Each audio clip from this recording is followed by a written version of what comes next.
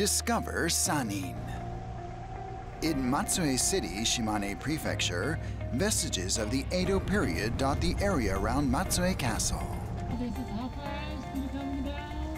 Board one of the unique low-roof sightseeing boats that pass under the bridges and enjoy a view of the castle town. Matsue Castle was constructed in 1611. In 2015, it was designated a national treasure. View the streets of Matsue from the castle tower and the castle's simple and sturdy interior, a site of medieval battles.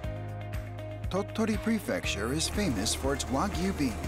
In a 2017 competition with Wagyu beef from around Japan, Tottori Wagyu beef took first place. This beef stands apart for the sweetness of its fat. Very juicy.